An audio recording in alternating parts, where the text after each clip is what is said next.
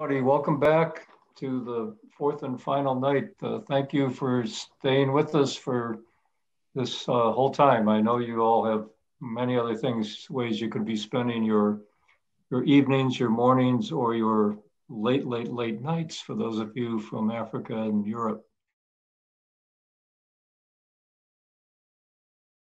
Today we've got uh, some terrific uh, guests with us. Uh, the first session, we're going to hear from the Arms, we're going to do a virtual tour of the Arms Control Association. On the second session, we're going to hear from a number of uh, young professionals about uh, what they're, what it's like to work in this field uh, and a little bit about how they got here and you know how they see working in this field. Um, so let, let me start with the, the first session with the Arms Control Association. This is one of the first organizations that I got to know when I got to Washington in 1987. I was working for the US Conference of Catholic Bishops and, and working on arms control and nuclear issues for the bishops. And this was one of our partner organizations. It's not a large organization, it's relatively small, kind of think tank and advocacy organization, but it uh, punches way above its weight. Um, and if and one way you know that is to look at what the former staff of the Arms Control Association uh, have been doing. One of the final three candidates for Secretary of Defense was someone uh, who came to the Arms Control Association when I was there in the late 80s. Uh, in, in academic, in key academic positions, key government positions, uh, working on arms control and nuclear questions um, you'll find a lot of former uh, staff of the Arms Control Association because they they do such great work and they really develop. Um, they're really good at developing the next generation. And so with us today, uh, we're really fortunate to have uh, two people, both of whom are University of Notre Dame graduates, both uh, Shannon Bugos, who Bugos, who you're gonna uh, is going to introduce herself more uh, in the uh, second session, uh, and Kelsey Davenport. Uh, Kelsey Davenport was uh, one of the best students, maybe the best student. I, I'll say one of the best students because another of my students, Monica Montgomery, is on the second panel.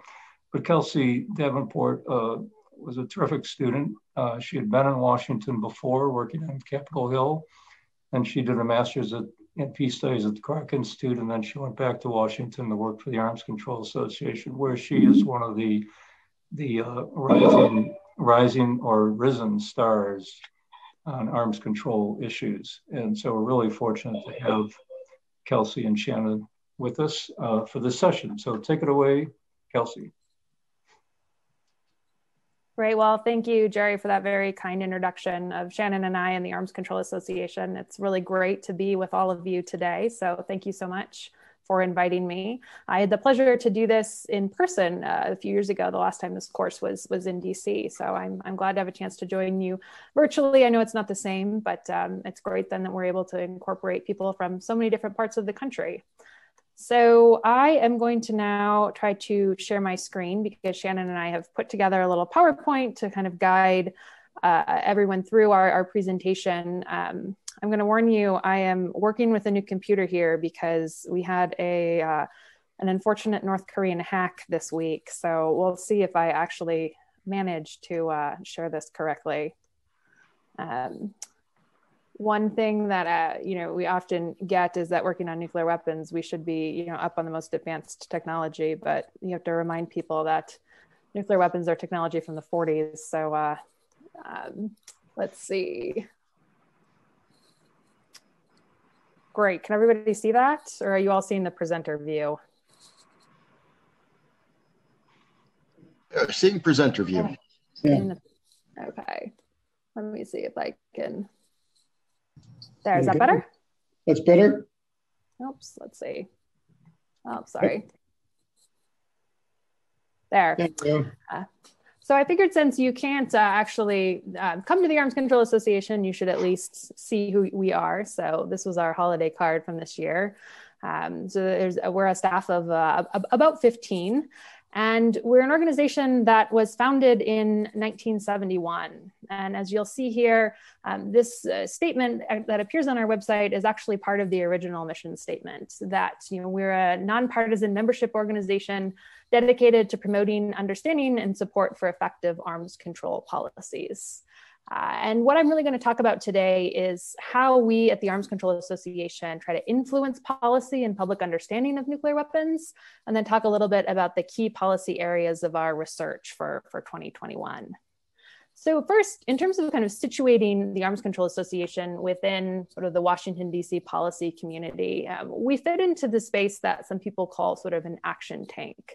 So there are elements of our work that are much more like a traditional think tank, where we do some of the longer research and analytical reports, you know, with policy prescriptions that look at sort of st strategy for U.S. policy and arms control and nonproliferation in the long term. Uh, but we also do a lot of sort of much more immediately policy responsive work. Uh, we do some work in kind of the direct action space, either working directly with grassroots organizations uh, or through our own action uh, work. And then, um, and, and, so in that area, we kind of kind of bridge that gap between kind of the traditional think tank world and sort of the more traditional sort of grassroots space. Uh, so when we look at sort of the audiences of our work, I'd say there are three that really jump out as, as primary. You know, first is I think most people would expect uh, for any group in DC, they're sort of the policymakers. Uh, and this is the group that we focus on when we're really trying to, you know, to change a policy, to advance sort of a new policy. And we do this primarily to, through sort of three, three tools. You know, first, education, as you'll see, is, is a core part of our work kind of across all of our different audiences.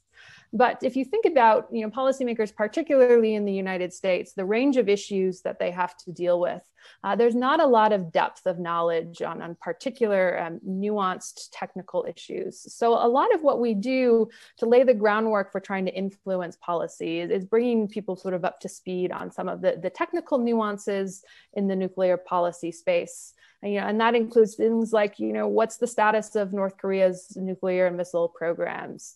You know, what do we think, you know, Russia is saying? How are we interpreting Russian remarks about extending the New START treaty? Sort of all of that falls into that education space. And then related to that, you know, the policymakers are also a key audience, you know, when we are trying to advance certain policy analysis or certain policy recommendations. And you know, we're in a really interesting moment right now with a presidential transition where there's a really wide space to actually try to influence policy. So I'm going to be talking about our, our own policies sort of more specifically. But you know, in that space, you know, a lot of that includes congressional briefings. So you know, down here in the bottom corner, um, this is a briefing we did on, on Capitol Hill uh, last year on North Korea um, with, uh, with former Senator Richard Lugar, but before he passed away. Uh, and sometimes this in, involves actually going to the seat of where decisions are being made on, on nuclear policy. So we participated on the, sort of the outskirts of uh, most of the rounds of, of the nuclear talks between uh, the P5 plus one and, and, Iran leading up to the deal in, in 2015. So this is actually a, a picture sort of I took um, while while I was uh, you know on the outskirts of, of, of, of, those talks. So we really try to get kind of on the ground, engaging with policymakers to share our ideas, to understand their concerns, you know, and where necessary to try to give them the information that we think is necessary to really make informed decisions.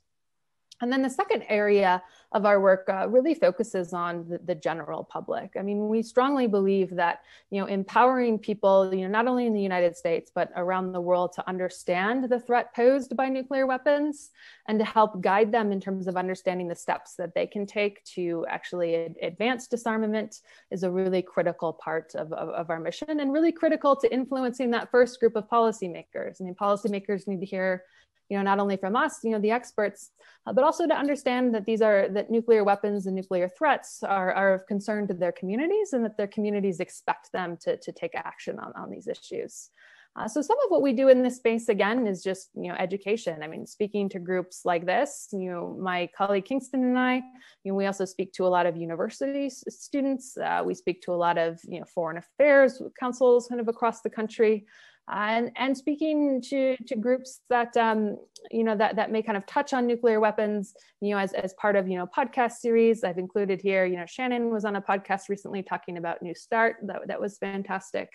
Uh, and, and really looking for those avenues to just ensure that people actually understand the risk posed by nuclear weapons and that they have a factual basis for, for that knowledge and that they have ideas on how they can actually act to, to, to sort of advance the, the goals of, of nonproliferation and disarmament.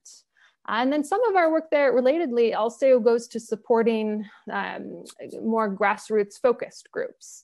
Uh, we work in coalition with a lot of organizations that have you know, networks across the country. Um, this photo down here actually is from some work that we did uh, with a number of groups that were supporting the Arms Trade Treaty. Uh, this is an arms trade treaty protest, you know, outside the White House. I'm uh, one of those people lying there on the ground. Um, and we have found this to be a really effective way to also kind of further amplify you know, our voices, but also to help us better understand what people around the country think about nuclear weapons. Uh, so we can kind of see where some of those gaps in understanding are that, that are so critical. And then another, uh, so I would say sort of the third avenue of focus for our work is, is the media. And again, part of this is, again, is an education mission. I mean, given, you know, sort of that, that media kind of covering the Hill, covering, you know, the White House, covering the State Department may tangentially run into nuclear weapons issues, but they're not likely to be really seated uh, in, in, in understanding the nuances of these topics. So we do a lot of outreach to reporters, whether that's through briefings, you know, press releases, or even just one-on-one -on -one phone calls to try to ensure that issues uh, or that that pieces you know that touch on nuclear weapons are, are reporting accurately. And then of course you know we're often asked to provide commentary too. Um, so you can see here, you know, this is a, a, picture of me on Fox News talking about the Iran deal, and then below a clip from my, my colleague who was interviewed for the Wall Street Journal. And I included this TV clip in particular in case uh, any of you are taking classes with Jerry Powers and he makes you do a TV interview so that you can see that it actually does you know, come back to help you in your career as awkward as it feels in the moment. Um, so this is sort of the our three kind of general audiences um, that I just wanted to touch on in, in talking about how we work.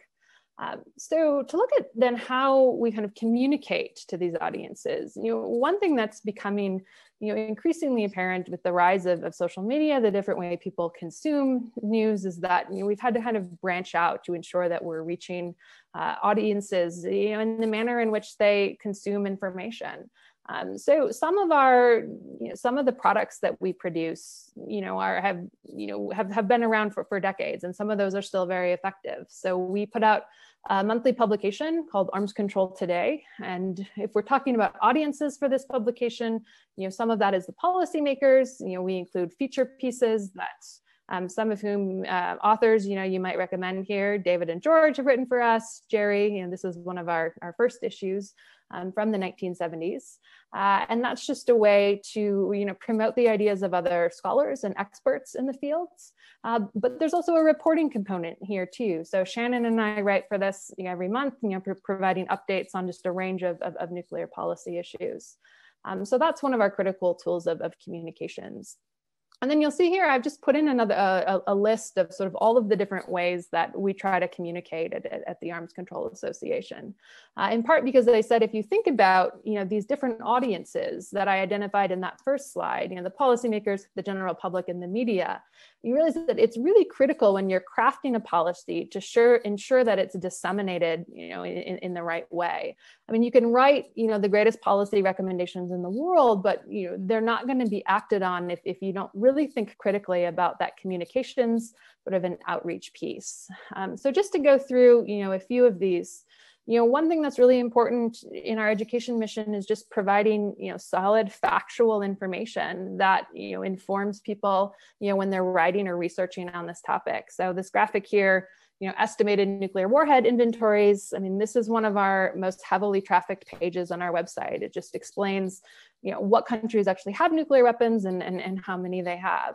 And these are just meant to be objective, you know, resources that we try to keep up to as up to date as possible.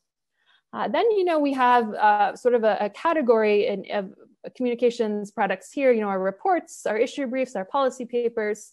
Uh, and these are really designed, you know, more at that policy making community. Uh, these are um, these are written with more expert audiences in mind, and again with those very specific, um, you know, with, uh, with, with those very kind of specific, you know, policy recommendations that we would like to see uh, policymakers sort of take forward. Um, now, anytime you know you're writing for that policymaker crowd, you know you want to have that more sort of in-depth piece of research, you know, either your report or, or your longer issue brief or, or white paper. Um, but you usually want to then accompany by that with a you know a shorter policy memo. Um, because you know oftentimes you know for a, a, busy member of congress you know a busy policymaker you know they may only initially have time to read two pages. Uh, so you have to be able to take kind of those larger ideas you know and distill them down into that quickly digestible material and then you know provide you know the longer policy paper or the issue brief when they want to come back sort of learn more and, and, and build on that, that, that idea. Um, then, you know, rapid response is another part of our uh, of our, our work, both for you know influencing or informing the general public, and then also informing the media. So, you know, we put out um, you know blogs when we need to respond to something quickly. Um, just for example, you know, down here, this is a place where we can be you know a little bit more uh, edgy in, in our writing. Um, this is something I wrote after tear gas was used against you know peaceful protesters in front of the White House in June. And then, you know, Twitter increasingly is an area that uh, is an avenue that we use to interact with, um, you know, with reporters to try to get our commentary out there, you know, to inform the general public, but then also to take in news about about nuclear weapons issues you know one thing as, as much as i think you know social media can be a double-edged sword is that it gives us a lot more insight into how people are talking about issues surrounding nuclear policy in, in different parts of the world uh, because it does increase increase accessibility. Uh, and then of course you know some of our communications are done through the very typical you know briefings whether that's one-on-one meetings with policymakers you know briefings for the press uh, and then we also, of course, work in, in coalition with, with other organizations, as, as I mentioned before. And that's just to, you know, to increase kind of the reach of our work, um, to learn and, and gain, you know, information from what other organizations are doing, um, but also to understand that when you think about how nuclear weapons and nuclear threats affect people, uh, they do so in very different ways. Uh, so, you know, having, you know, grassroots understanding, you know, working with grassroots organizations to understand how local communities feel impacted, you know, helps our work. Uh, just as their work is, is assisted by understanding how we view the policy landscape in, in, in Washington. Um, so again, you know, like I said, thinking about not only about you know who you're communicating to, but how you're providing them the information you know, is a really critical part of being effective in the policy space in, in, in DC. Um, so moving on then, um, before I get into our policy priorities, I just want to talk a little bit about sort of where we are today and kind of this, this moment. Um, you know, one thing that I think is an unfortunate kind of mindset now that Biden has been elected and is going to take office next week is this idea that the United States can simply return to where we were, you know, four years ago, that we can just pick up where things left off in, in, in 2016. And I think that's a very dangerous assumption because the security landscape really has changed significantly. Uh, nuclear risk has increased quite a bit over the past four years you know, while the number of warheads has, has decreased, you know, what we've seen is the introduction of more destabilizing systems that I think increase the risk of nuclear use through miscalculation. Uh, we've seen a lot of countries expand their nuclear doctrines, meaning they consider using nuclear weapons in an expanded number of circumstances. And we're seeing an increased number of proliferation threats. I mean, when we talk about proliferation, people, you know, tend to gravitate towards Iran and North Korea but we've seen some very kind of loose and dangerous rhetoric coming from Saudi Arabia. A lot of barriers to nuclear weapons have been uh, broken down in, in, in South Korea. Uh, so that risk landscape has also really increased. And then complicating that, you know, we have a lot of challenges that are going to face US diplomatic efforts to try to get nonproliferation and arms control priorities back on track you know, first, I, I, can't underscore this enough, you know, from our sort of position in Washington, you know, looking at how to advance our goals in, in, in 2021, you know, we're faced quite consistently with the credibility deficit that Washington is facing, you know, after four years of having kind of pulled back from international agreements, not just in the arms control space, uh, but, but just writ large. Uh, and a lot of mixed messages coming from the Trump administration about US policies in the nuclear space you know all of that just complicates us diplomatic efforts because we have to reestablish sort of our the idea of us good faith and kind of reestablish what us um, arms control and nonproliferation priorities really are you know, related to that, I, I, would say the tools of statecraft that the United States has typically relied upon to advance its arms control and nonproliferation interests have been damaged. I hesitate to say anything about sanctions in front of George because he knows far more about it than, than I do. But, you know, from my vantage point, watching how the Trump administration has tried to wield sanctions against Iran and, and North Korea, you know, he has, he, he's damaged this a, a, as a tool. I mean, we now have, you know, critical allies and partners that, um, you know, are actively thinking if they need to develop channels to circumvent US sanctions in the future uh, and, and, feeling like they don't actually need to implement U.S. sanctions uh, because of the manner in which in which they've been they've been um, misused. Uh, so we we have to also then think about you know how we kind of readjust that toolkit. And finally, you know, I would just say as we become more and more removed from generations that remember nuclear testing, that remember the use of nuclear weapons in World War II, you know, the nuclear threat continues to become less and less tangible, uh, particularly when you compare it to threats that people actually feel like they they face and impact their daily lives, like terrorism, like climate change. That, you know, coupled with the idea that, um, coupled with, you know, the idea of disarmament, which to many people feels like an impossible task that they don't understand how to get there, you know, that does just create a lot of apathy in the general public. Um, of course, you know, I wouldn't apply that to anyone who is staying up this late to listen to, uh, to, to a, a, course on, on, on, nuclear weapons. But I highlight that because I think it is really critical and something that we consistently face in our work. How do we make this threat relatable and how do we make this threat real? Um, I included this, um, this piece, this excerpt from the Washington Post you know, from January of, of 2019, you know, two years ago, that just indicates that there are a lot of people in the United States who don't even want to read news about nuclear weapons and they just prefer to ignore it. So I think that comes back to that idea of, of apathy, that it's just hard to get people to actually want to take action on this. Um, so finally, you know, just to talk briefly then about some of our key policy priorities for 2021.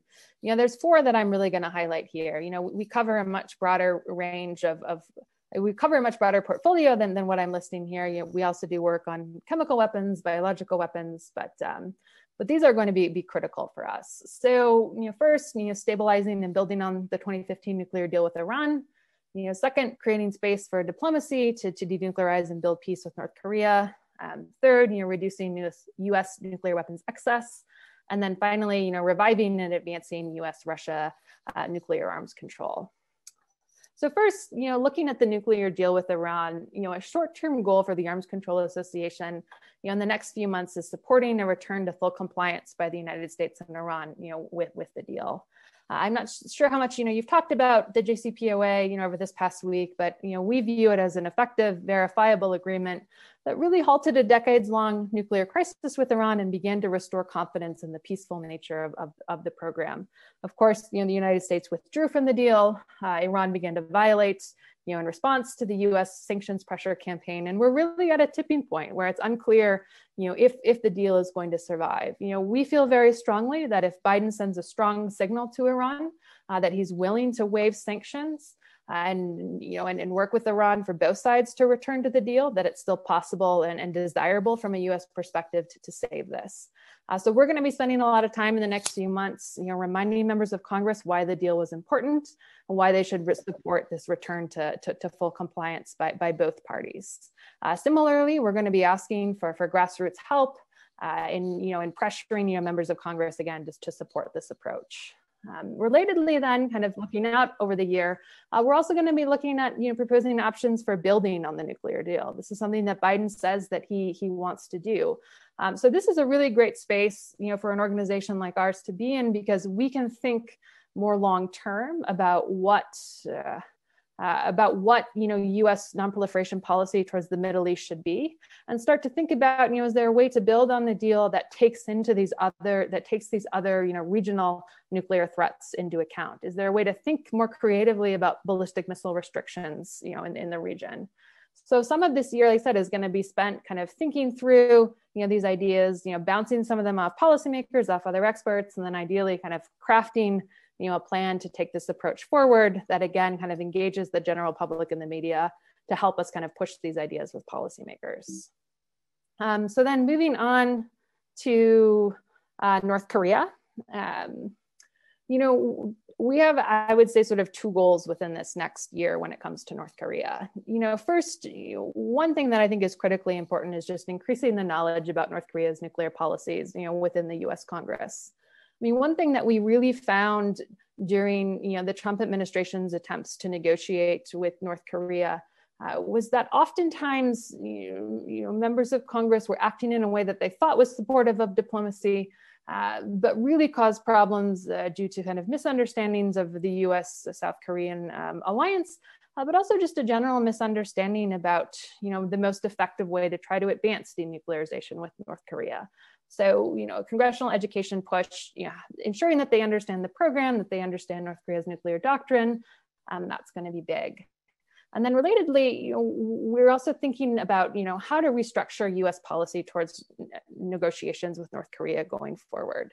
I mean, we did a very extensive sort of look back at the Trump Kim summits that took place in 2018 and 2019, um, the rhetoric, the positions that came out of both sides. And you know, we strongly believe that the maximalist demands by both parties and the mixed messages about the intentions, about what actually constitutes denuclearization and peace building, um, were really problematic in stymieing talks and, and helped contribute to the stalemate. Um, so we are, are going to be pushing for a much more step-by-step approach that actually rewards North Korean, um, that rewards uh, tangible North Korean steps towards denuclearization, you know, with areas that, that meet North Korea's demands. So that could be limited sanctions relief. That could be modifying US North Korean exercises. Uh, that could be, you know, thinking about you know the the initial sort of political um, relations you know setting up liaison offices you know ending the korean war kind of putting all of that into a bucket together and kind of figuring out how that step-by-step approach that can lead to denuclearization will re reduce nuclear risk in the short term and, and help build confidence between the two parties um, and part of this then is kind of embedding this idea of denuclearization within this transformative approach to negotiations. Uh, and this is something that I think has stymied the United States in its policy towards North Korea for some time, uh, is that we tend to view uh, denuclearization in a vacuum, that we pursue it, and then on the side, you know, we have our security policy, you know, that's directed sort of towards the region. Uh, so what does a transformative policy look like that advances denuclearization while understanding that in order for North Korea to denuclearize, the security environment has to change. Um, so we're going to be kind of thinking a lot about that, um, you know, trying to flesh out a little bit more what that looks like. And then again, you know, trying to plant the seeds, you know, with, um, with the policymakers about sort of how they can pursue that strategy. And then with Congress as to how they can actually sort of support that. Um, so that's where we are on, on, on North Korea. Um, now, I this is an area reducing US nuclear weapons excess where I don't lead our work at the Arms Control Association. So um, you'll have to forgive me if, uh, if I'm a, a little less uh, verbose or, or, or, detailed, but I'm uh, plagiarizing significantly from my colleagues' work here.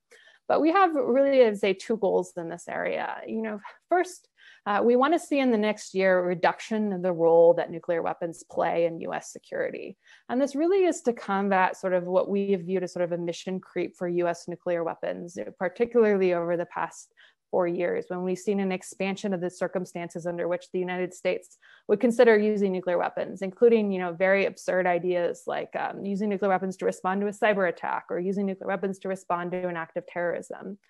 Um, so, you know, we we're going to be pushing for, you know, either declaring that the sole purpose of the U.S. nuclear deterrent, uh, nuclear weapons, is to deter a nuclear attack, you know, or even stronger, you know, a, a no first use policy, meaning the United States would never use nuclear weapons first in a conflict. So again, you know, we heavily focused on policymakers, you know, trying to explain to them why this actually benefits US nuclear security. We're going to be heavily engaged with US allies, explaining to them that this doesn't put their alliance security at risk.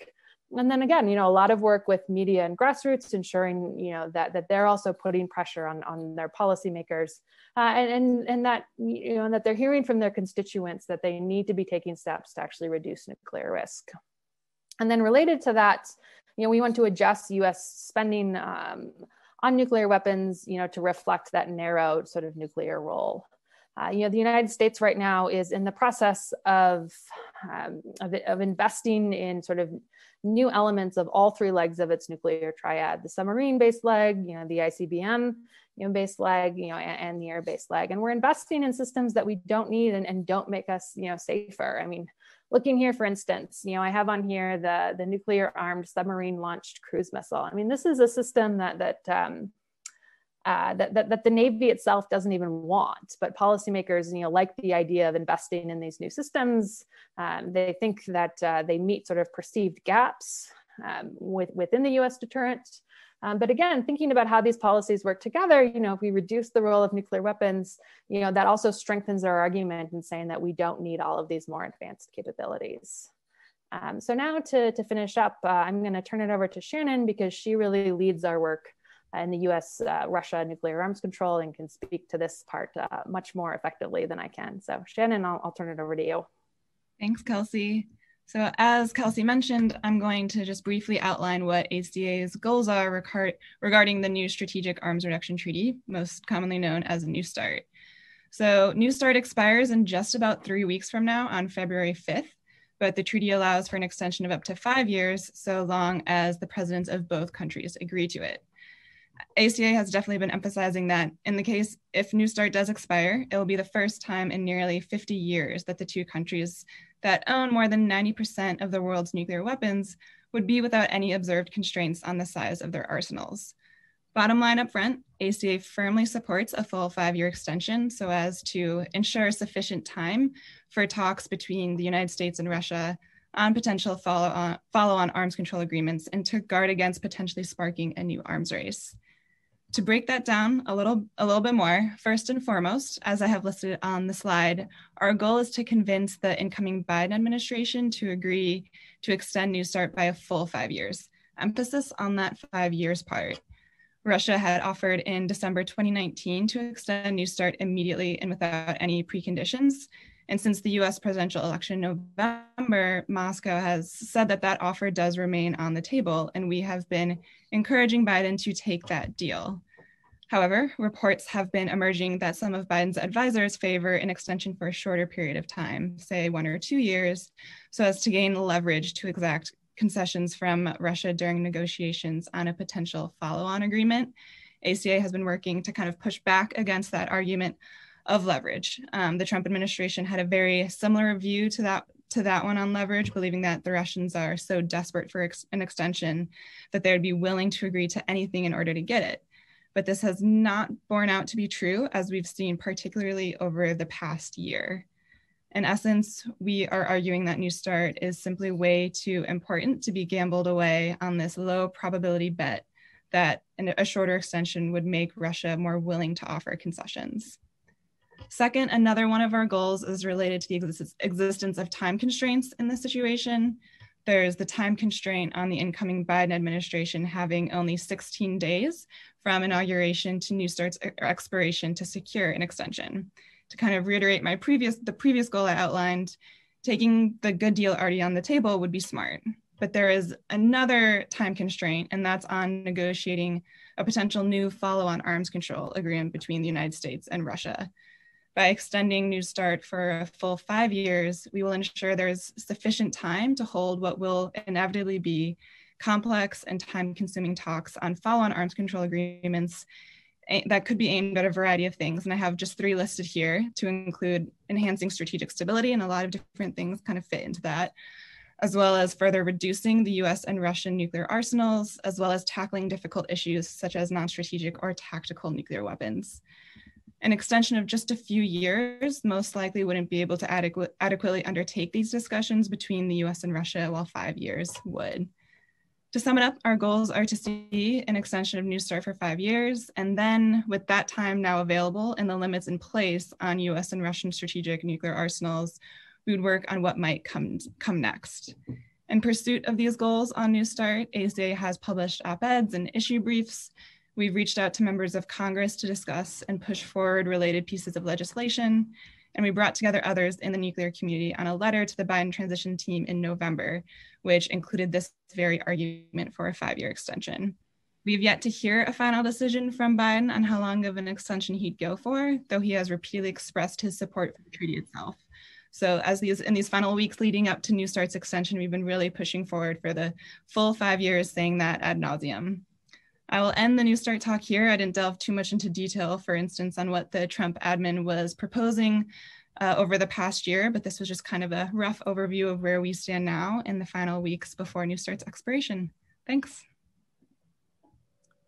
And uh, that actually concludes our presentation. So um, thank you so much for joining us in our virtual tour. Uh, I hope next time we can host you in person. Um, but in the meantime, uh, Shannon and I look forward to trying to answer your questions in the discussion group. Yeah, well, thank you very much, uh, Kelsey and Shannon. That was very substantive and uh, very informative. So thank you very much. I think we are now, uh, rather than rather than field questions in the plenary, I think it'd be probably better to just break up into our small groups for uh, about, what, 20, 20 minutes?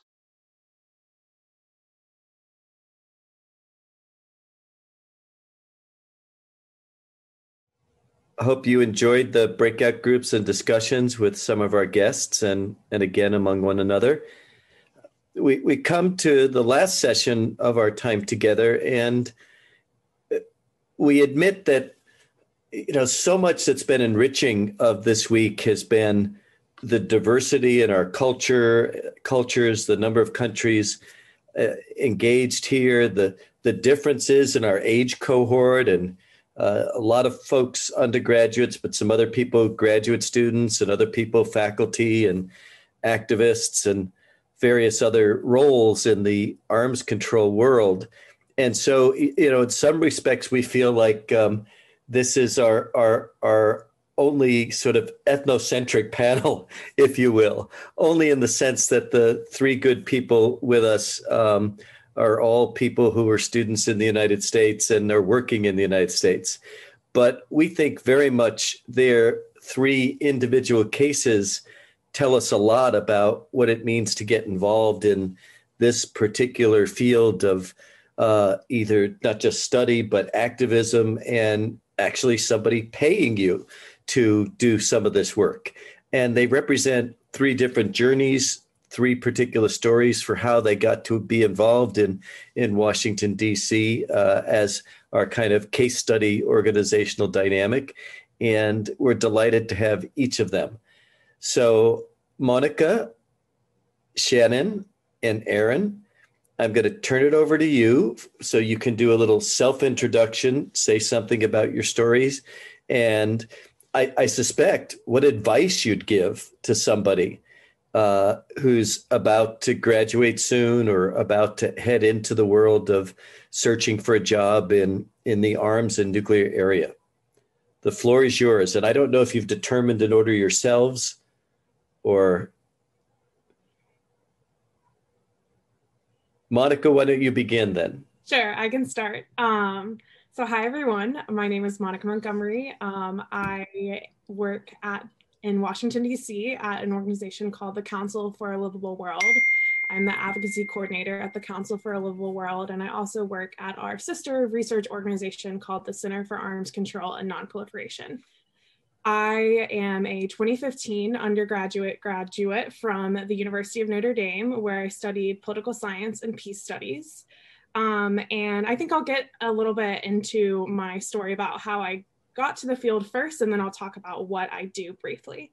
So um, when I went to Notre Dame, I knew that I wanted to study political science, but I didn't really know much about what interested me. Um, I became started becoming more focused in peace and security issues, and it was actually in Jerry Powers, Professor Powers' uh, junior seminar in peace studies that I had an opportunity to learn more about nuclear disarmament and um, joined a trip of students on a trip to uh, the Vatican for a conference on nuclear disarmament. This uh, i don't know how much you've talked about it this week but i'm sure you've probably heard somewhat in your lessons uh, about when pope francis declared the possession um, not just the use of nuclear weapons to be immoral in 2017 so this was the conference that i actually got to attend um, with Professor Lopez, Powers, Kelsey, uh, Shannon, so some of us gathered here today. Professor Love, I think, was there. Um, so it was a really monumental part in my studies where I thought, wow, this is such a cool opportunity.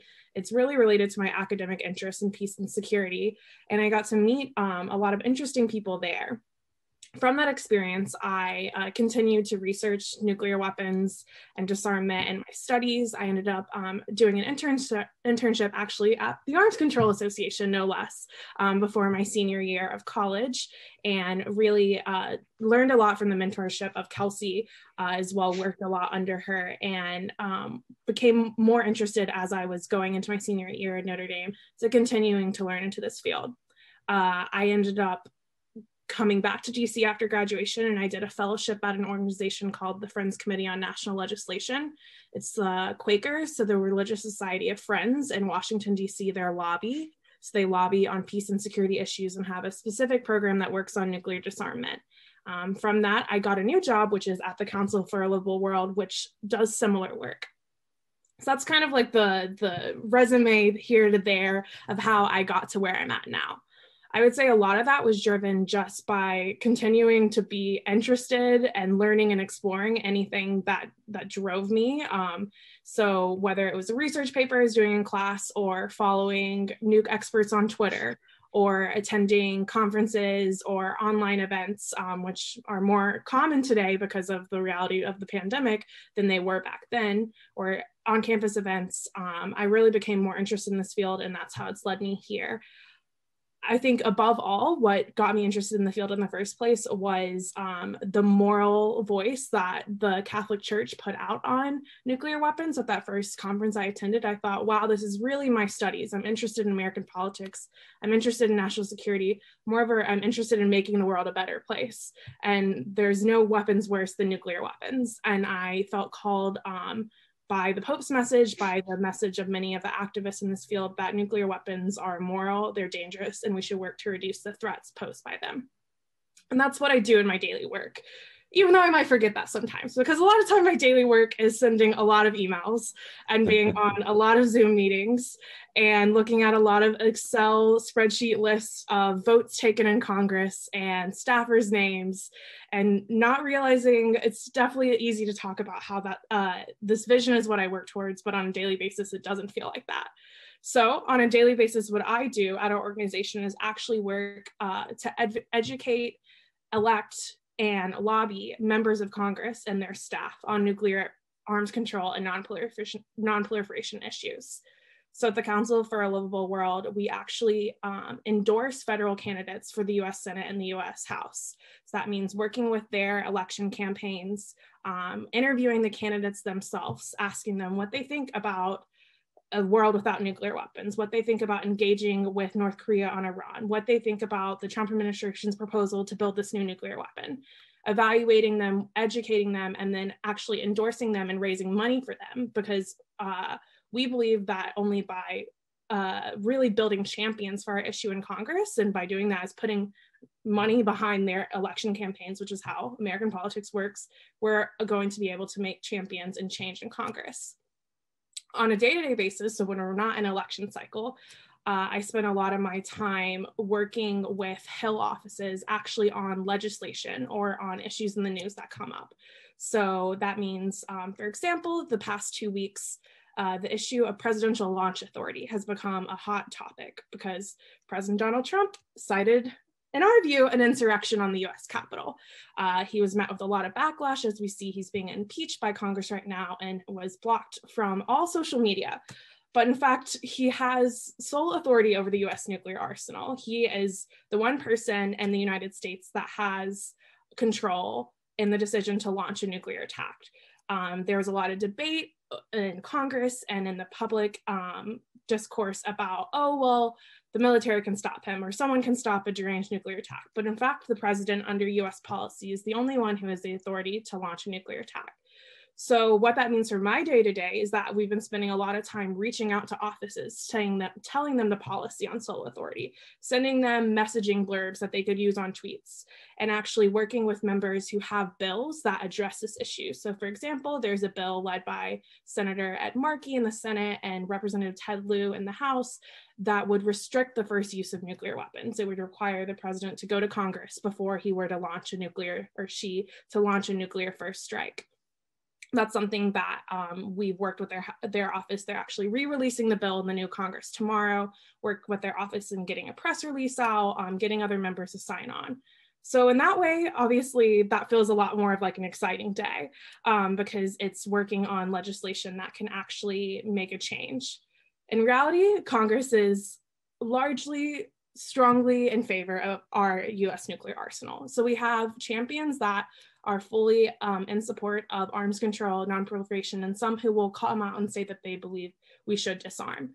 But those are honestly few and far between. And a lot of our work is um, finding niche interests in members and finding crisis moments or policy points that can get them to support uh, a reduction or a new policy that could lead us down the road towards nuclear risk reduction. Yeah, I can go on and on about what that means. And a lot of our work also um, is about re reducing the overall defense budget, which is a, a, topic that we're able to find a lot more champions for, um, because even though it's, it's it, and a lot more opponents too as well, but there's a lot of uh, bloat and waste and fraud in the US defense budget. And a lot of that is directly tied to our nuclear weapons. So that's an issue that we spend a lot of time with. And every year, Congress has to pass a budget for the, the Pentagon, the Department of Defense. Um, so that provides a lot of opportunities. I don't know, I, I can just go into a few words of, I don't wanna, uh, I don't, I'll finish up with my few words of advice and then pass it over. Um, I think I hinted on some of them in the beginning, but I would say some of the parts that have felt led me to find success in this field um, and be in a position now only two years out of college where I actually have a lot of responsibility and advocacy in our organization is that I, while I've tried to keep my interests quite broad, understanding all things um, that relate to our work, regional issues, specific US nuclear weapon system, Russia, it's, it's important to find a niche, what I found. And what my niche is understanding Congress. Um, so a lot of people in our field are great experts on issues, but sometimes they don't understand the political realities or they just don't have time to understand how difficult and how nuanced Congress is.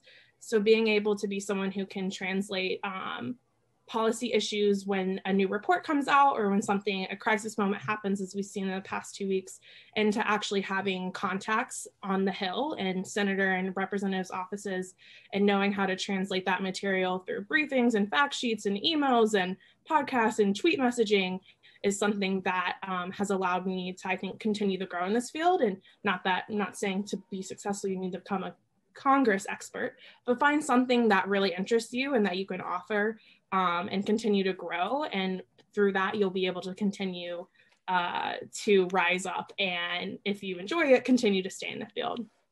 The one other thing that I'll just add is the value of mentorship, which is something that I really uh, have benefited from.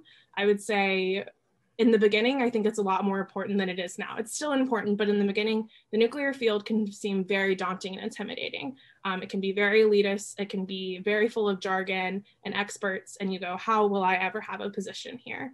And I say that the reason I felt those same thoughts, and I still feel them all the time, but the reason that I would I had the confidence to continue going on was hearing support from mentors and colleagues in the field. So I spoke about Kelsey and Jerry, who played a pivotal role in when I was first getting into field.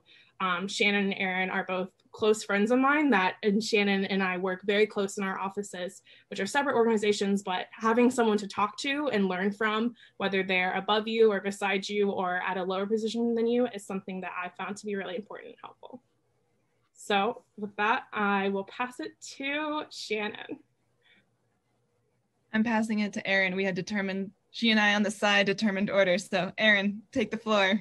We're two type A, to not have an order. Uh, so, hi, I'm Erin, and I'm currently a Global Affairs and Peace Studies master's student at the University of Notre Dame. Um, and through my master's, I've been using peace studies as an alternative framework to this traditionally very security studies space.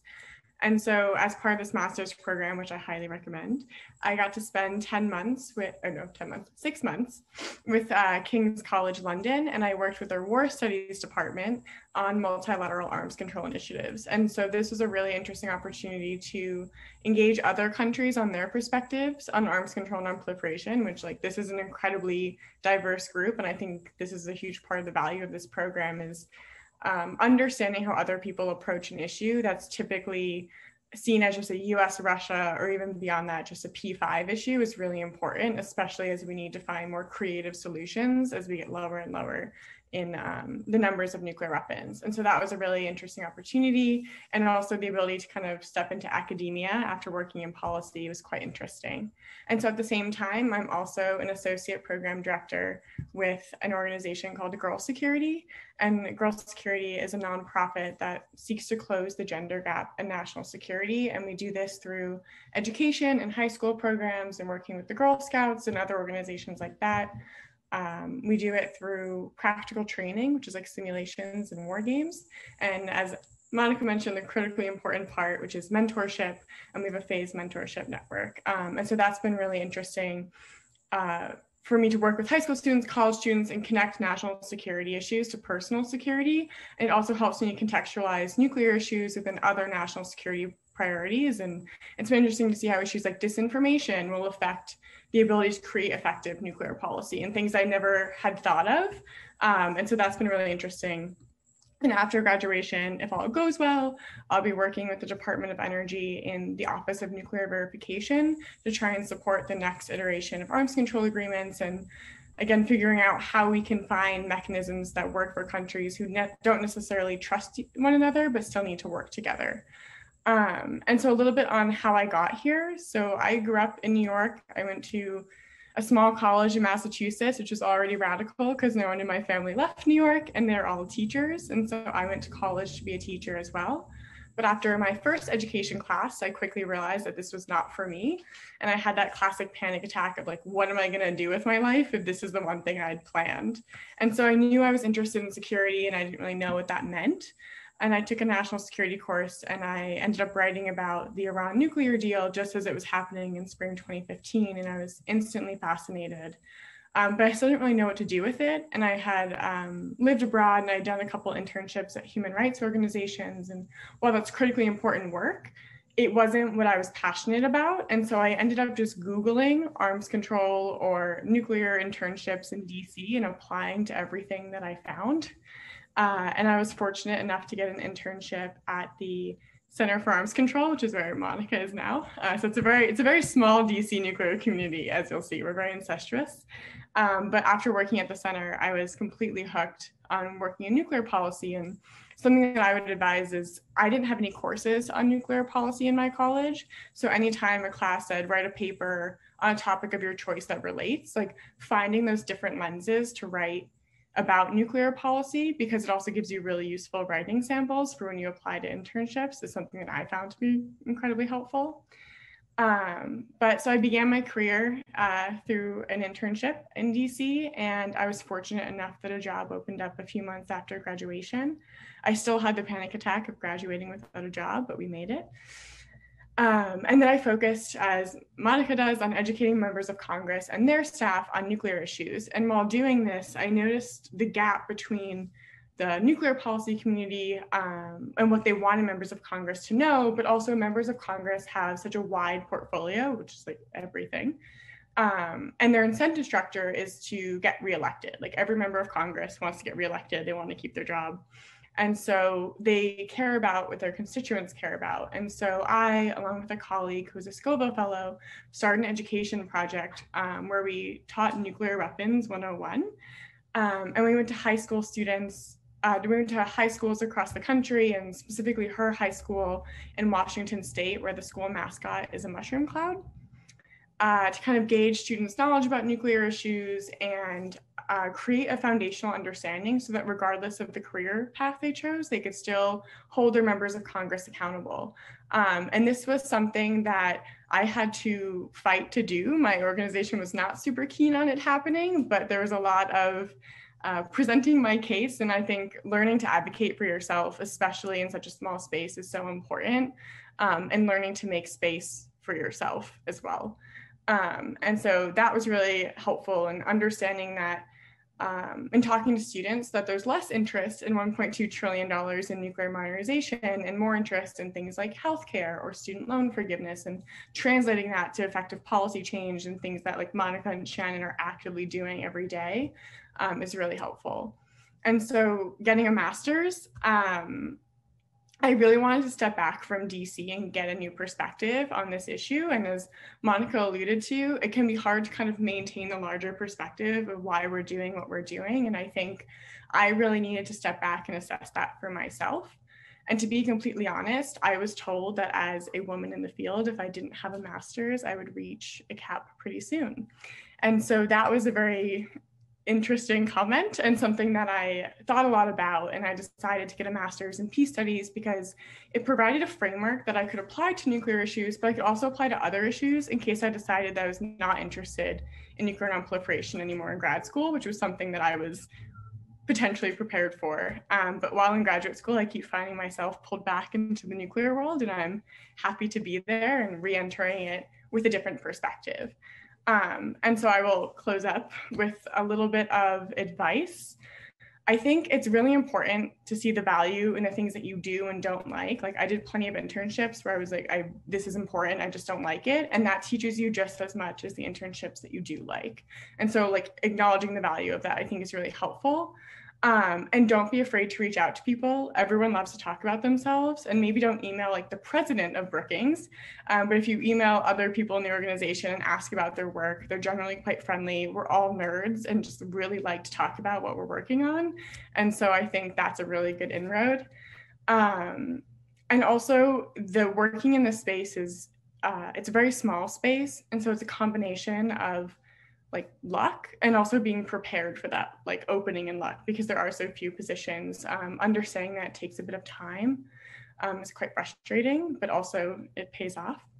And then just reiterating again what monica said in terms of uh, creating a horizontal and vertical network because the horizontal is like your peers and those are the people that you can go to when your boss is driving you insane and you need to decide if that's the hill you're going to die on or not um, or if maybe you just need to like take a walk around the block and then go back to your work. Um, i know many friends have been quite helpful in that debate in my head um, but also they're the people who like celebrate the wins with you who um, who are just really who understand what it's like to be in this very niche interesting space. And i think that's really important. And then your vertical network are the people who really help you ask the critical questions of yourself and also like why you're doing the work that you're doing. Um, and i think that's really helpful perspective. And so um, i'm happy to answer any questions but that's just kind of like my experience in a nutshell. And yeah i'm excited to hear what shannon has to say. Thanks erin uh, well, Monica and Erin have really set the groundwork, I feel like. So I'll give a rundown of how I got here and advice that I've picked up along the way.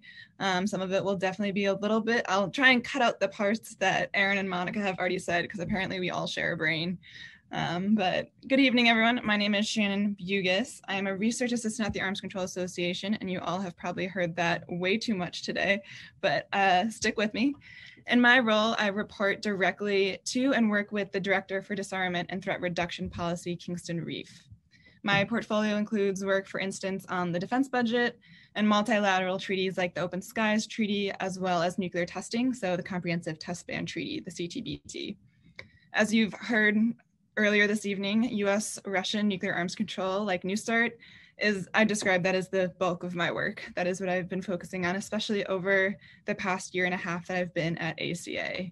For an example, one of the main things I do on New Start, on the New Start front for ACA is help run what we call the Friends of New Start initiative. This is a group of about 40 of our colleagues that we gather together to share information, discuss developments related to New Start, and determine the best strategy to secure the treaty's extension. What I enjoy most about my job is the research and writing part. It is so important to stay on top of what is happening in each area that I cover. And so I dedicate a solid portion of my week, probably even my day, to reading, uh, reading news reports, but also research papers and government reports, kind of like anything I can get my hands on. This research then goes on to inform the writing I do at ACA, which includes op-eds, issue briefs, articles for a monthly journal, communications with those on the Hill, like the policymakers. I want to, so after describing my ACA work, I want to back up a little bit to my time at Notre Dame and then walk you through what my path to ACA looked like and hopefully dispense some helpful advice along the way. I graduated from ND in May 2016. My majors were peace studies and English, and I also had a minor in business economics. Though many people asked me about becoming a teacher, I would always reply that I did the English major so I could learn to write well, which would help me as I pursued a role in the peace studies field. My sister, who's an English teacher, was always trying to get me to change my mind. She obviously did not. I like very much where I am, where I am, when job hunting as a senior, I was initially firmly set on the type of job that I have right now, research.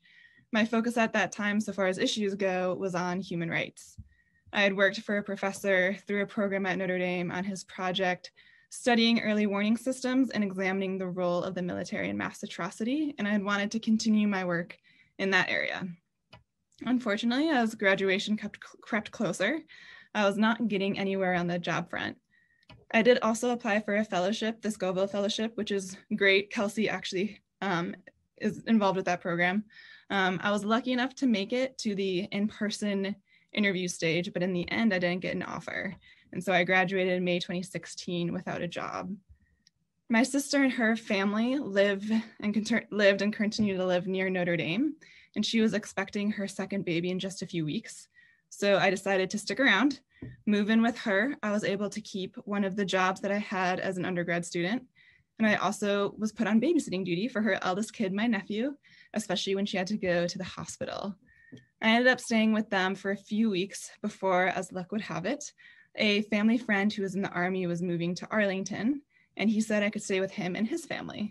And his wife was also expecting a second baby. So I was put once again on babysitting duty in order to live in their house. So I got free rent, they got a babysitter on call.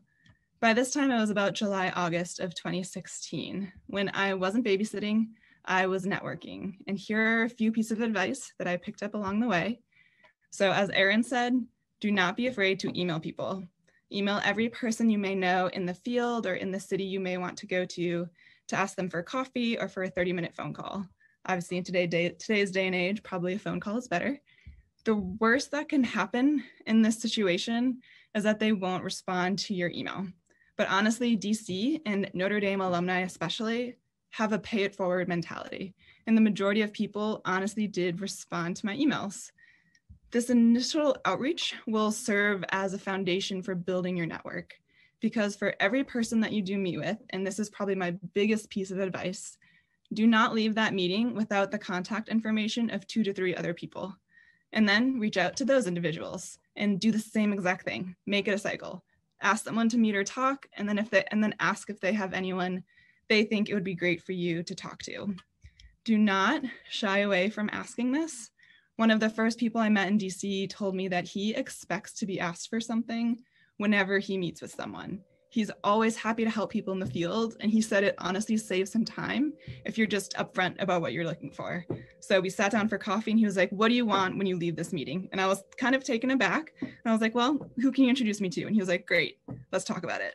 And so just be very, people in DC kind of expect that. And especially when people approach me now, I always say, like, what is it that I can do for you? Because I do want to help. So don't be afraid to ask for introductions to people. Um, keep track of everyone you're meeting with and follow up with people.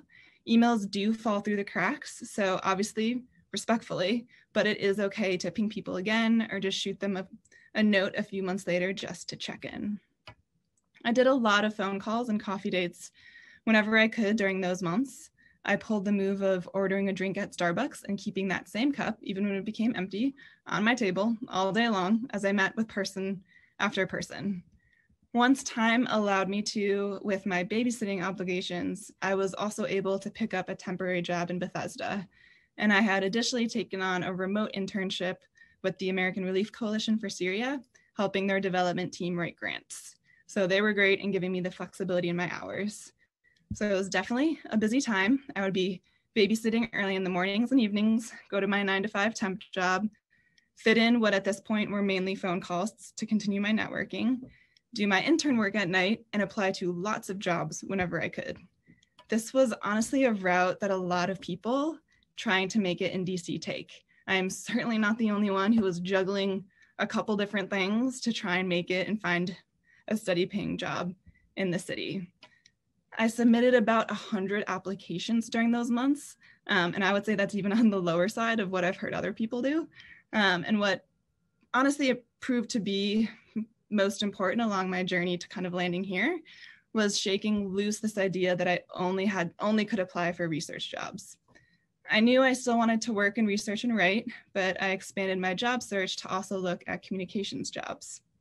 I ended up applying for a comms role at the Truman Center for National Policy and Truman National Security Project, and was eventually offered that job, which I started in December 2016. At first, this job wasn't exactly what I pictured myself doing in DC. In this role, I primarily assisted Truman members in drafting, editing, publishing op-eds, and writing a daily newsletter for the community. But it was my foot in the door and it came to be an experience that I am extremely, extremely grateful for. While at Truman, I got to understand how communications works, which I think has served me well. Being passionate and knowing about issues is great, but it only gets you so far unless you know how to talk about them effectively to different audiences. I also got to know the DC community, especially because Truman is a membership organization. So I got to meet all of those in DC as well as outside the Beltway and continue growing my network. I stayed at Truman for about two and a half years. While I did appreciate working in comms, I also, it helped me figure out, so as Erin said, some things can help you figure out what you do and don't want to do, and that's also invaluable. And so while I loved comms, I knew that something in me was like, I still want to get to research eventually. Um, nuclear non-pro and disarmament have also been longtime interests of mine. And so when I went on staff at Truman, the other staffers weren't really experienced in the nuclear arena, and so they put me in charge of those issues. This allowed me to dig deeper into them than I had before and write the organization's messaging on, for instance, the Trump administration's withdrawal from the Iran nuclear deal. Working at Truman on nuclear issues allowed me to keep expanding my knowledge and grow my interest. And so ACA landed very firmly on my radar as someone that I saw myself, somewhere I saw myself wanting to go to. It helped that my current boss right now is a Truman member, so I knew about his work when I was on staff at, at Truman. I had also known Kelsey for a few years at that point too, so I was bugging her constantly about openings at ACA and how to enter the nuke space. I ended up joining ACA in July 2019, and I'm always very, very grateful that they brought me onto their team. It was certainly a steep learning curve, going from comms to policy slash research and going from a broad range of foreign policy and national security issues to a very specific focus on arms control. I am still learning and being challenged every day, but I love that. And that's, I think, as it should be. I shared some of my thoughts on networking earlier, and what I'd like to end on is this piece of advice for you to just think broader about what you envision your career path to look like. For sure, have parts that you would that you want to stick to. So for me, that was writing, but be flexible in how you can apply it don't run the risk of dismissing valuable learning opportunities because you might think they don't fit into the exact plan that you had sketched out to yourself or you'll, you'll you think they'll knock you off course they could be opportunities that give you a new set of skills or prompt you to reevaluate what, what issues you'd like to learn you'd like to focus on if you told me in college that I would enter comms, I would have laughed it off. I no way I would have imagined myself entering that field where I would have to be glued to Twitter all day. Um, but from where I'm standing now, I am so thankful I worked in comms because it allowed me to gain new skills and taught me how I can now better talk about my research and work on arms control. I had also first imagined uh, my career thinking I'd be in human rights, possibly international development in that space, but I learned that personally my interests were actually in the arms control space. Things change, and I learned it is best to be flexible and be open to different opportunities, opportunities I might have dismissed at a first glance, but when I looked into it, it would be great for my career. It's also important to get to know people in this space, get to know them and their work, but also as people, DC is about who you know, um, which again is great for your career, but people will go the extra mile for you if they know, know you a little bit better. So just really talk to people about things other than nukes as well. Uh, we're all people, I promise. So I want to end it there. Thank you for your attention, and I look forward to your questions. Well, thank you to the three of you. This is uh, a, a, lot to absorb. Uh, and this time we're going to stay in a group as a whole.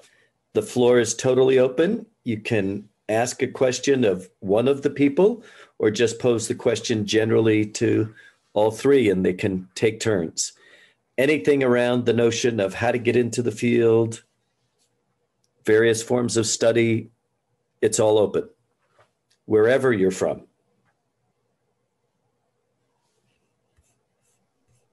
I have a question for Monica. Hi, Monica. Hi, Lindsay. um, I was wondering, could you talk a little bit more about how you use like niche issues to appeal to congressmen who, you know, might not be for complete disarmament but reduction? For sure. Yeah. So um, it definitely is a lot about uh, learning and catering to the niche uh, interests, as you say. So a lot of times when we're working with members, there are occasions that we work with actual congressmen and women themselves, but more often than not, we're working with their staff. So a lot of their staff look like me. They're young. A lot of the staff are um, older staff, senior staff, or might be in their 30s, 40s, some um, older than that as well, that are up at higher levels in the offices. So a lot of the time, getting an issue on a member of Congress's agenda is by getting their staff to be paying attention to that. So one thing that we do at the center and the council is we hold briefings for staff members. We also hold member level only briefings about really far and wide topics. So sometimes these briefings are about nuclear security. So like plutonium and um, uranium modern or modernization and containment. Sometimes they're about North Korea, Iran. We're planning one upcoming on launch authority, as I was talking about earlier. And in these briefings, we are able to hear them ask questions as the staff. And then a lot of my job is following up with the staff that ask questions, kind of being a pest. Hey, I heard you have interest in this. Do you have time for a follow on 30 minute conversation? We can schedule time to talk. And sometimes with staff that I already have relationships, they'll reach out to me and be like, hey, my boss uh, saw this in the news, or my boss is interested in introducing a bill on the role of um, artificial intelligence and missile defense. And I'm like, oh boy, that is not my expertise, but I'm certainly not going to tell you that. I'm going to read some stuff on it and I'm going to talk to our experts and I'm going to find a way to get you to be interested in this. And by building that relationship, whatever it is, and a lot of times it's easily identifiable by them, you're able to open a door and they're going to come to you on more issues and you're able to get them then when when I'm trying to get that same member to take a vote to vote against funding for the new intercontinental ballistic missile, they're already going to be much more likely to take my call and much more likely to listen to the things that I'm um, trying to put out in front of them and why we may not be able to get them to change completely their view on nuclear weapons. We have seen that this is proven um, to be successful. It's all about relationship building and catering to whatever needs they are we're first and foremost a resource to them and that's what we always present ourselves as. Awesome thanks. Yeah i have a question. So um, thank you for your presentation uh, inspirational presentation. It's really good. I learned a lot from you. So uh, from your perspective do you think that uh, this world this generation this field needs new specialists uh, in the field uh, of nuclear disarmament or nuclear weapons. So can you specifically enumerate some other opportunities for those who are interested in? Yeah, so I can jump in right here. Um, so the Scoville Fellowship that I had mentioned earlier, I highly recommend looking into that. Um, they offer, I think it's about nine months um, and you kind of you apply for the fellowship and if you get the fellowship you kind of get your choice of a handful of organizations to work at and you can go work at one similar to aca um, there are a handful of arms control ones in there. Um, i would definitely there's a couple job boards that i think are pretty popular among like the arms control space. So Erin and Monica, you're definitely gonna have to help me here. But one that I had used a lot was one called Global Jobs, and uh, people are pretty good about putting up their um, postings there so you can kind of see it all in one place. Um, if you're DC focused, there are a couple job resources that like there's one called Tom Manatos that you can sign up for and kind of get that full rundown of everything that's available. Um, and so that's definitely more DC focused. So if you're not looking at DC, I'm sorry. Um, but for anyone right there, that's a that's a great one. There's one called like Brad Traverse or Traverse. I don't know how to say it. Um, but I would definitely recommend looking at that. And then lastly, I would recommend putting together a list of organizations that are kind of like your top places you want to go to and just get in the habit of checking them very often. Because, at least speaking in ACA's experience, whenever we have an opening, it's usually a pretty quick, we start apps now, we'll have them open, and then we just immediately start interviewing. Um, so it's best if you just kind of are checking those organizations that you're really, really attached to. Um, Erin and Monica, let me know if I missed anything major. Please jump in. I think those are all really good points. And I think another list that's DC national security is the John Quincy Adams Society, and they're very like national security focused. Um, and also internationally, there's ways to get involved through like the International Atomic Energy Agency um, and other international bodies that work on nonproliferation issues. But I think just reiterating what Shannon said in terms of looking at the organizations that you're really interested in and personally uh, a good way to find those is when you're reading about these issues, looking at who is writing and then seeing where they work, because I think that's a really good, like, I didn't even know where to start to find organizations, and I found that to be really helpful.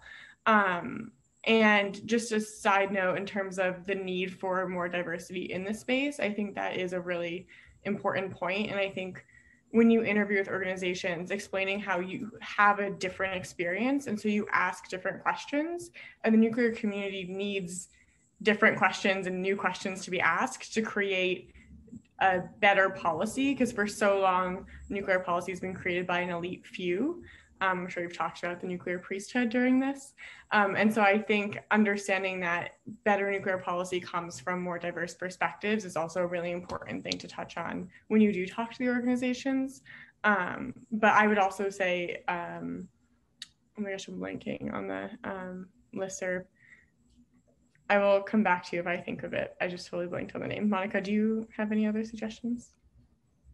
No, I think you guys covered a lot. Um, just on the on the diversity of of background and thought, I think that's really important, and it's a conversation that comes up more often than not in our space right now.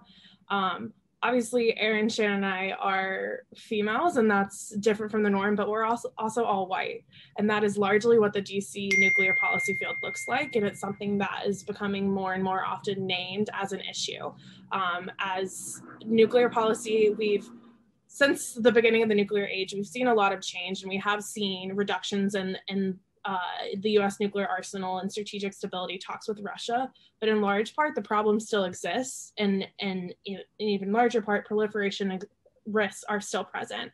And a lot of people point to the lack of diversity of thought and backgrounds as a reason why we're not able to move forward in achieving nuclear zero and achieving um, really drastic measures in disarmament. So I think that as you see, obviously Erin, Shannon, and I have different backgrounds, but we also have similar ones. But while all of us uh, are in a similar position, we have different interests, and as more different uh, academic backgrounds and geographical backgrounds can come into the field, I, I do believe, and I think there's a lot of desire for that in the field right now, um, whether that's more scientific or more theological, moral, or more traditional political science, national security. It's it's definitely desired and it's definitely necessary um, and i hope and believe will prove useful in working towards our our collective goal. Do we have another question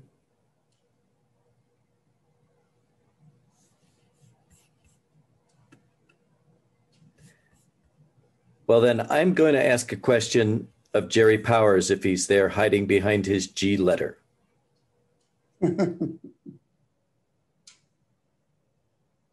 Jerry, if I'm a young Catholic who wants to get involved in this on the church side, what's the equivalent of the Arms Control Association for young Catholics?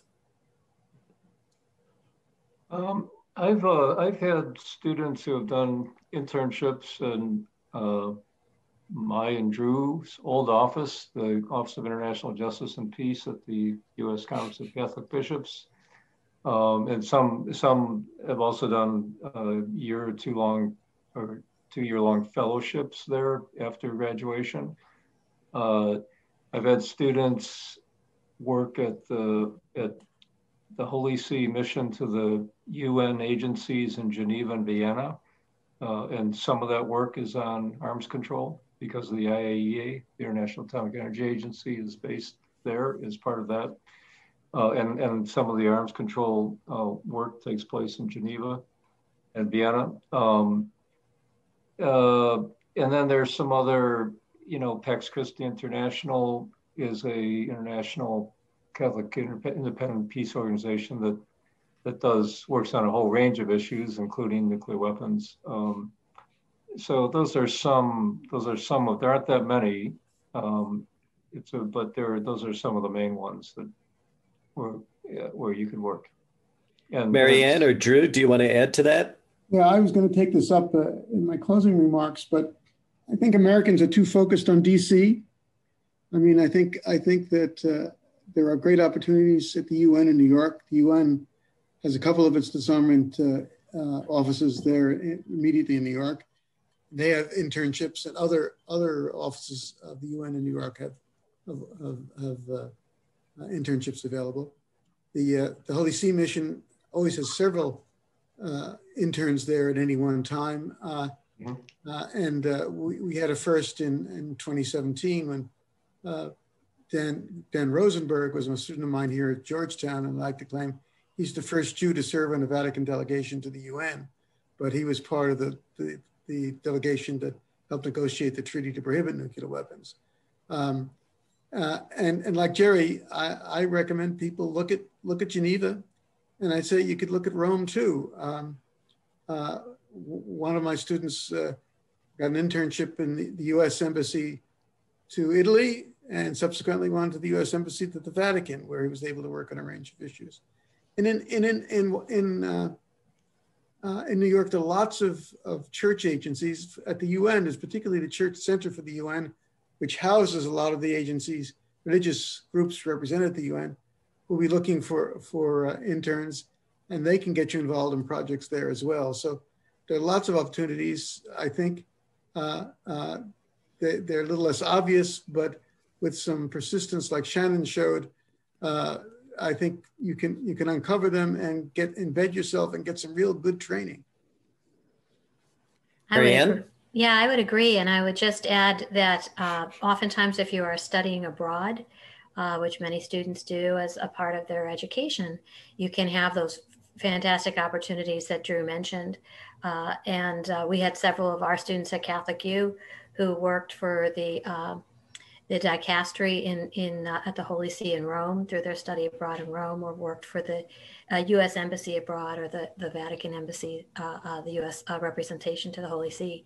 So those are sometimes not off the a little off the beaten track of what you'd think of for the uh, the path. I think um, Annie put in the chat about the Holy See internship, so that's more inf- information there, but also some of the religious orders also have uh, Office of Justice and Peace. Uh, they also do lobbying and advocacy both at the United Nations uh, in New York and in Geneva. Uh, uh, many of them are located in Rome. Uh, so those are some wonderful opportunities as well. Thank you. And I and I've, I've Go got ahead. one more. We we we are about to get funding for the Catholic Peacebuilding Network is about to get funding for a postgraduate fellowship uh, with the Holy See working on peace and justice issues. That'll start, uh, we hope, in, in August. And one other, I'll speak for Drew's uh, former uh, gig at America Magazine, uh, but often uh, with Catholic publications and media, they often have opportunities as well. Erin? I just had a quick note for um, I think all of us on the panel have like done the UN NATO um, government job application. And I think just a quick tip to get past the machines and into a real human is when you see the um, the description, make sure you use their keywords in your resume um, and in your cover letter. So if they say you need a very specific skill, like make sure you write that skill that you like did it in one of your jobs in your resume. Because if you don't have the keywords, you won't ever get to a human. Erin's point is really key, and I'm forgetting there's a there's a service you can apply to that will rate your cover letters. I'm just blanking out on the name right now. It's something like Blue Sky. Uh, if you Google it, you'll come up. There's different ones, and it will it will check you on whether you have uh, reached enough of the key words uh, in your cover letter and in your application to make it past the AI. Thanks. What is the world coming to? And it's really, really important, as Erin said, for those government jobs and those UN jobs because they get Yeah. too many applications that they do that. In addition to the information, Jerry, uh, do you have an inspirational moment or two of comment for our, our wonderful group that's gathered this week?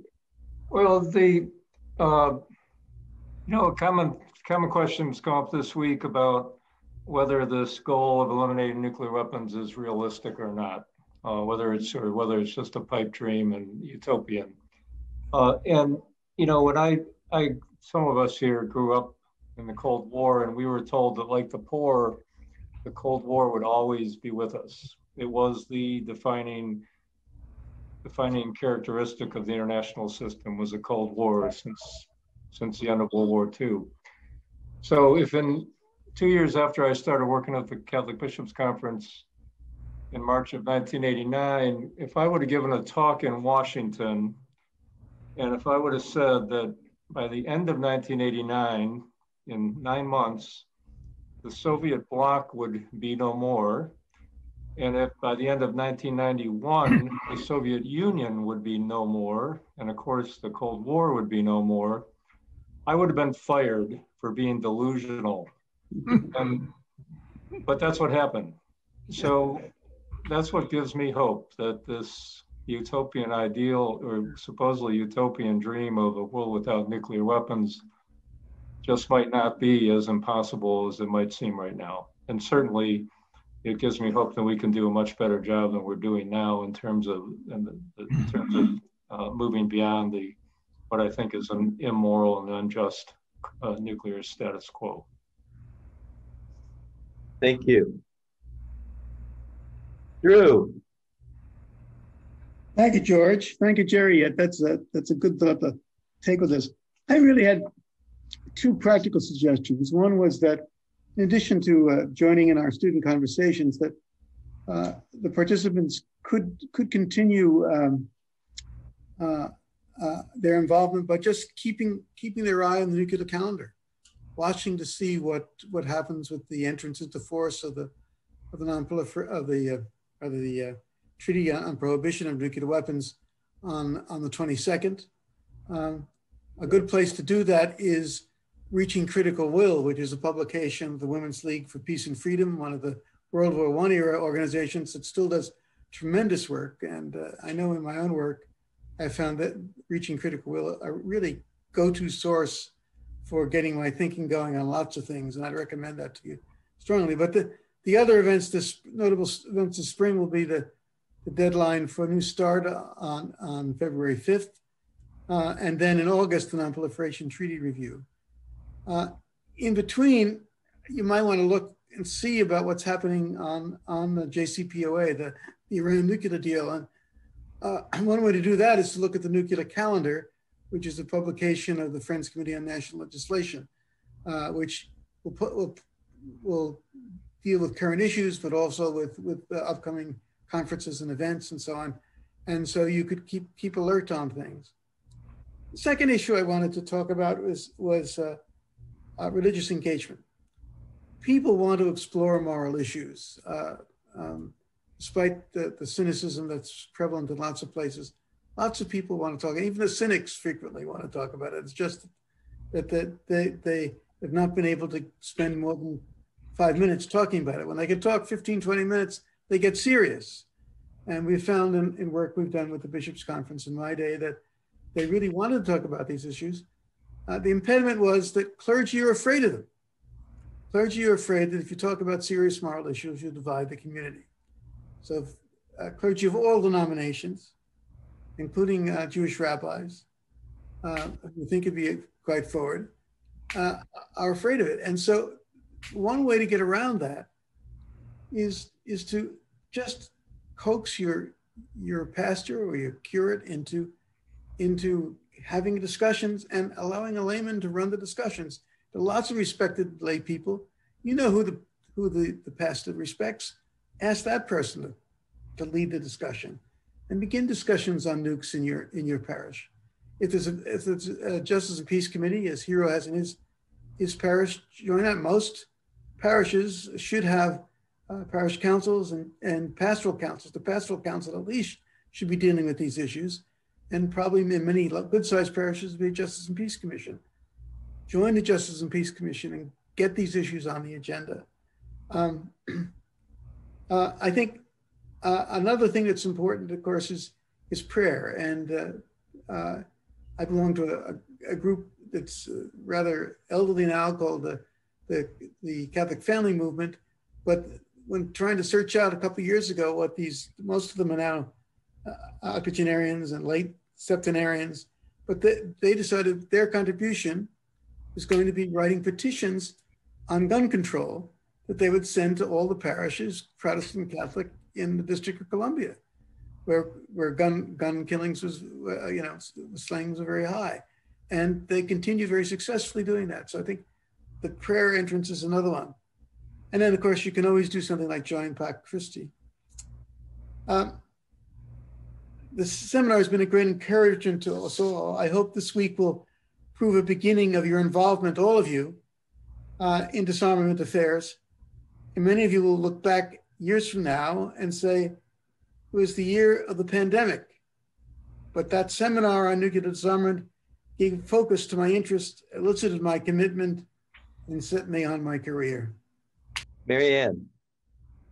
Yes, first of all, I want to just thank everybody for being here and, and not letting the pandemic get in the way of your education and your development. So that's a, a huge, a huge uh, thank you to all of you for coming. We've heard this week a whole lot about the urgency of various uh, nuclear weapons risks and, and the, the risk, the urgency of the new challenges that they pose. Mm-hmm. But perhaps some of the greatest risks are the risks to our own creativity, to our own imaginations, to our spirits, our souls, and our sense of agency. Nuclear weapons can make us feel impotent. They can make us feel helpless and hopeless and without any agency. And there's a very false narrative, as Jerry said, that nothing can be done about nuclear weapons uh, and that, that they will always be with us and the dangers that they pose will always be with us. That is a false narrative. And I really hope this seminar has helped you to reimagine and reclaim your agency, that sense of agency, uh, and to challenge that kind of world weary cynicism that falsely canonizes an impotence uh, and a politics of despair that's really profoundly at odds with our Christian sense of hope.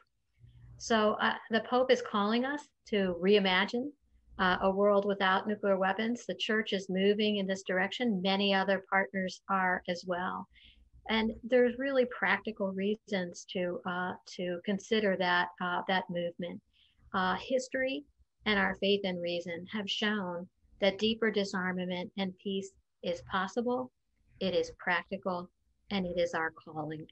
So I'm very hopeful that uh, this week has maybe opened the aperture uh, and opened the uh, uh the windows to a, greater sense of hope, despite the, the the the the time of the pandemic, which can be a dampener of our hopes. I, I certainly myself have found my, myself a great sense of encouragement from this time spent together. Wow, thank you, Maryann and Drew and Jerry. Uh, I I don't know if I have a lot to go beyond what our good colleagues have said, other than a couple of uh. One is, I thought, even in the constraints of this kind of uh, time we find ourselves in, especially in the discussion groups, I, I think there was a sense of camaraderie. Maybe I go too far and say of community, but your numbers didn't drop off.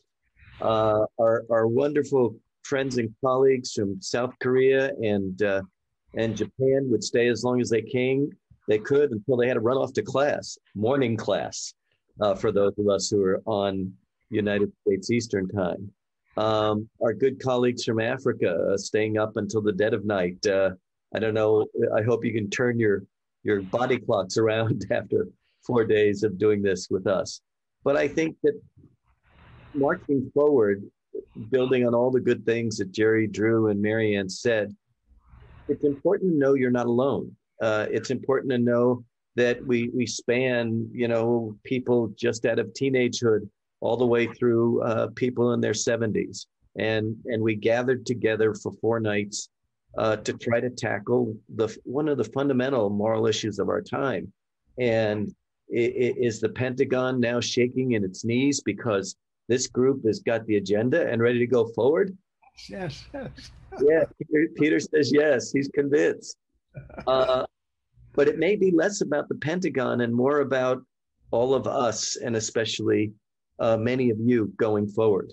Maybe you don't have a career in nuclear matters, but I'm sure by groping with these issues and and trying to puzzle about them and think about them from a, a, an ethical and religious point of view, whatever you do in your future will be deeper and richer for struggling with some of the big questions like this. But probably a number of you will, in fact, go on because a couple of years ago there was uh, Erin and Sharon and our guests of today. So we hope to see you in many of the things that we have planned this year. Um, now you're you're on our mailing list in a way as if you stepped in a wad of bubble gum. You're not going to get rid of us very easily. So uh, we welcome that, and and we welcome uh, whatever participation you can do, and also all of us on the here and, and a certain area as well. You, you, you've got a puzzle, you got a question, you got an issue. Shoot us an email, and we'll be happy to respond. Uh, this has been a really marvelous thing and I, am delighted as well to have been been part of this. I'm going to just close with a couple of logistical issues. One is for your great citizenship and learning and discussion and sharing this week. By I hope uh, a week from tomorrow, we will send you a fancy certificate that you can print and hang on your wall or do whatever you'd like with that says you participated in this particular kind of activity and listed on your resume or various other things. It's something that is a couple of steps in the direction of learning about the church's position, about some weapon systems that some other people maybe haven't done. But it's something that you should get credit for, at least in, in, in our minds of the group that put this together. We'll also, at about the same time, send you out the, the learning resources, the complete sort of set of packets and things, and give you the links to these presentations even that we did all this week. Uh, you're not going to get the tapes of the discussions, but we will we will give you access to the the plenary sessions, and uh, I, I think we'll also be able to say to our sponsors like NTI and others, this kind of thing is worth an investment because look what these people where they came from, what they did, and the kinds of contributions they made. Let me say that uh, George uh, is was supposed to is supposed to be retired, but he's sort of the overall architect of this program, uh, as you can tell. And so we really uh, appreciate George all the time you put into this.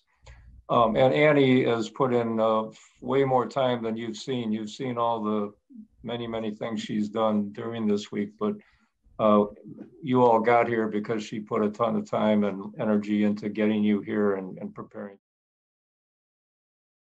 One final thing, the Catholic Peace Building Network um, works on a, a, wide range of issues. It's about two dozen institutions are involved in the network. So you might look at the web page and maybe you can find an institution or some other some issue, maybe perhaps other than nuclear weapons that you're interested in um, that, that, that we're working on. So uh, that's another another thing to pay attention to. But um, it's wonderful to have all of you here. Uh, thank you for being here. George, final word. Final word is go in peace. Make a difference. Get in good trouble.